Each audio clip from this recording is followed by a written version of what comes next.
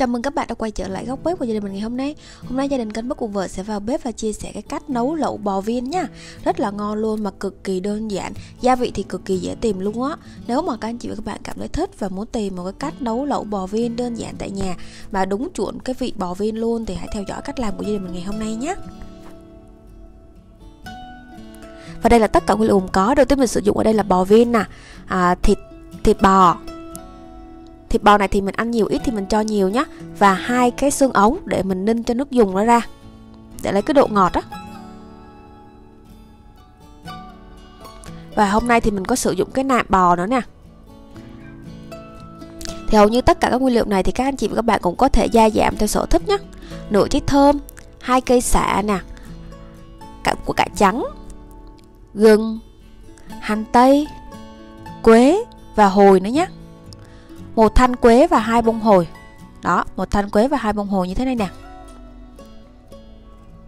Rồi bây giờ thì chúng ta sẽ bỏ quế và hồi lên mà mình sẽ rang cho nó thơm lên. Đối với cái phần lẩu bò thì chúng ta cần phải rang lên cho cái quế hồi này nó ra cái mùi thơm để nó tăng lên cái vị lẩu bò của mình.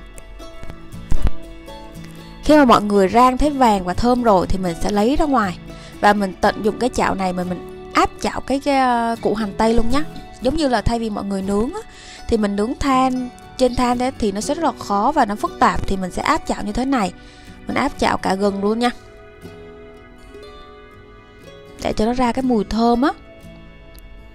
Nấu nước dùng thì mọi người nên à, nên lưu ý là chúng ta nên nướng hoặc là áp chảo như thế này đối với hành tây và gừng. Để cho cái phần nước dùng của mình nó ra cái mùi thơm. Và mình cứ áp chảo trên cái lửa vừa thôi nhé vừa nhỏ nhỏ nhỏ để cho nó chín đều vô bên trong khi mà nó chín vàng rồi thì chúng ta sẽ lấy ra ngoài. Bây giờ thì chúng ta sẽ cho cái nạm bò vô cái phần à, nồi áp suất. Kế tiếp đó là hai cái xương ống heo. Và mình cho cái hành tây, hồi, quế và gừng hồi nãy mình à, nướng lên cho nó thơm rồi đó. Nửa trái thơm mình bỏ vô luôn. Củ cải trắng này mình cho vô nửa củ. Mọi người cho hết vô cũng được tại vì nếu mà mình muốn cái uh, cái nước dùng của mình nó ngọt á thì mình cho hết cái củ cải trắng vô luôn nha. Và kế tiếp thì chúng ta sẽ cho cái xả mà mình cột gọn vô và mình ninh luôn. Bây giờ thì chúng ta sẽ cho vô cỡ tầm 3 lít nước vô cái nồi nước dùng này. Khi mà mình nấu lẩu bò viên á tại nhà bằng nồi áp suất thì cực kỳ nhanh luôn và cho cái nước dùng cực kỳ trong. Mọi người thấy không? Khi mà mình đổ nước vô rồi thì à, mình sẽ đậy nắp và mình bật chế độ hầm thịt hầm. Và mình bật chế độ mở cho cái nồi áp suất này nó hoạt động ha. Trong lúc đợi cái nồi áp suất nó chín và mềm thịt thì chúng ta sẽ sơ chế cái phần thịt bò. Thịt bò này thì mình sẽ sách mỏng ra để tí nếu mình ăn tới đâu và mình nhúng tới đó thì nó sẽ hấp dẫn hơn ngon hơn. Mọi người kiểm tra ha nó ngược số bò thì mình sách là đúng rồi đó. Còn mình sách uh, ờ, xuôi số bò thì nó sẽ bị dai.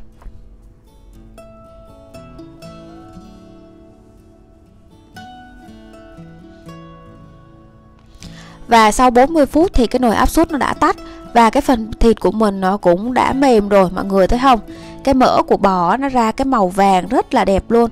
Bây giờ thì chúng ta sẽ luộc cái uh, cái nước bò này qua cái nồi để mình bắt trên cái bếp uh, bếp điện mình nấu nhé mọi người thấy không?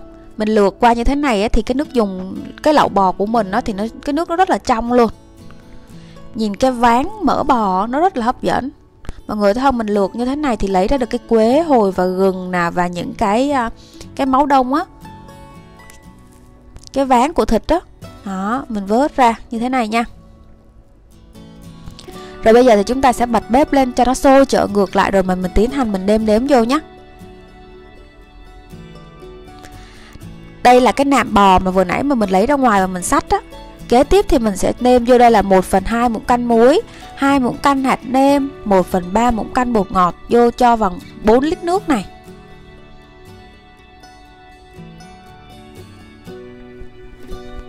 Và các anh chị và các bạn cũng có thể nêm nếm gia giảm theo khẩu vị của uh, gia đình của mình nhé 1,5 muỗng canh đường phèn. Và đối với cái phần lẩu bò mà mình muốn cái nước dùng nó thanh và ngọt ừ, thanh á đậm đà nữa thì chúng ta nên nếm bằng đường phèn nha. Rồi khi mà thấy cái nước dùng đã sôi rồi thì chúng ta sẽ cho cái à, bò viên vô.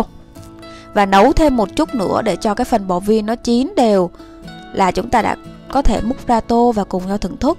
À, đối với cái phần lẩu bò này thì mình ăn kèm với rau các loại rau á và mình ăn tới đâu mình nhúng tới đó thì nó rất là tuyệt vời luôn đó à. cho thêm một ít ớt sừng vô để cho nó đẹp nè và gốc hành vô để cho nhạy mùi nữa nhé. Vậy là hôm nay gia đình của mình đã chia sẻ tới các anh chị và các bạn cái cách nấu nước dùng lẩu bò. À, viên rất là đơn giản luôn cực kỳ nhanh gọn lẹ không có quá khó đâu à mình ăn kèm với rau mùng tơi à, sẽ rất là hấp dẫn cho cái món này ăn tới đâu à, mình sẽ nhúng cái bò vô tới đó nha. Nếu mà các anh chị và các bạn cảm thấy video của gia đình mình chia sẻ ngày hôm nay thật là hấp dẫn thì hãy cho gia đình kênh Bút của vợ một like và một đăng ký ủng hộ tinh thần kênh Bút của vợ nhé. Rồi kênh Bút của vợ xin chào cả nhà hẹn gặp nhà vào những video tiếp theo nha.